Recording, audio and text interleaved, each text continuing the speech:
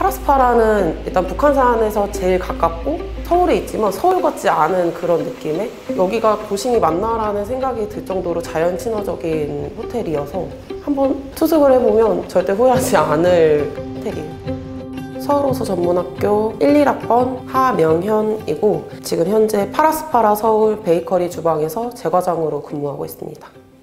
이 파라스파라 서울에서 판매하고 제공하고 있는 모든 디저트를 다 개발부터 생산까지 저희 베이커리 직원들을 책임지고 있는 역할을 하고 있습니다. 이전에 그 영광 에릭손에서 근무를 했는데 코로나가 점점 더 심해지면서 재정적인 문제도 있었고 좀 힘들어하던 시기에 파라스파라 서울을 저희 교수님이 알게 해주셔서 소개를 받고 입사를 하게 됐습니다. 아무래도 이전에 근무했던 것보다는 좀 회사의 규모가 확실히 많이 커졌고 분기별보다도 더 짧게 이제 신메뉴를 해야 되는 것도 있고 VIP들이 워낙 많이 오는 곳이기도 해서 좀 더 여러모로 많이 더 신경을 써야 되는 것 같아요. 저희 파라스파라 시그니처 디저트로는 북한산 포시즌이라는 케이크 있는데 이 케이크는 이제 우리나라 사계절마다 다른 모양과 다른 컬러, 다른 맛, 계절에 맞는 제철 식재료를 사용해서 매 분기마다 다른 디저트로 선보이고 있어요.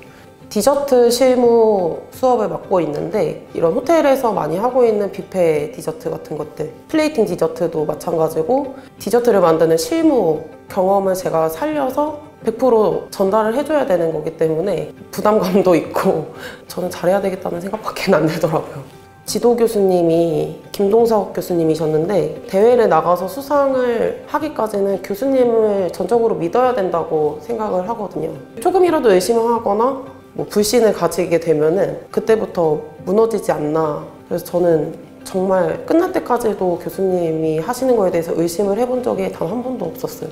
그게 제일 중요한 것 같아요.